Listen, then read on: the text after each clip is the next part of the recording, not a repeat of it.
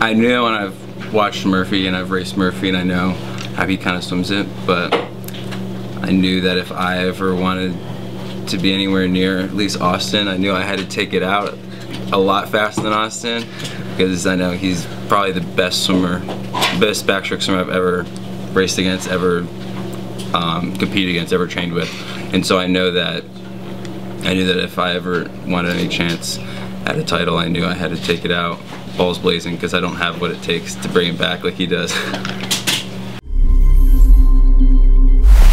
Honestly, it I can't even put words into that, just how it describes like, the past two years. I've had that baggage of I've gotten from friends back home, from family, just jokingly, but um, it's just it, it takes it takes a lot it takes a lot out of me, and so I always kind of had a hinge whenever doing weights, doing practice, anything.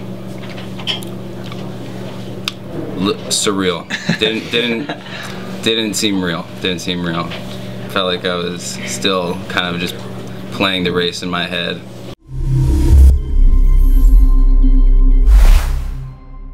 I mean, I don't know. He's he's like he's like my brother. I train with him every day.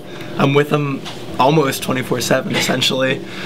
Um, I'm just looking up at the board. Actually, I really I heard John Shebat, and in that moment I was incredibly happy. It was like it, it was like I won, because I don't know. I've seen him work so so hard all year, and and the year before that, and I don't know. It's hard to put into words, but I I mean I am so like if, if there was, I'm I, I'm glad it turned out that way. You know, it was a perfect ending. I think.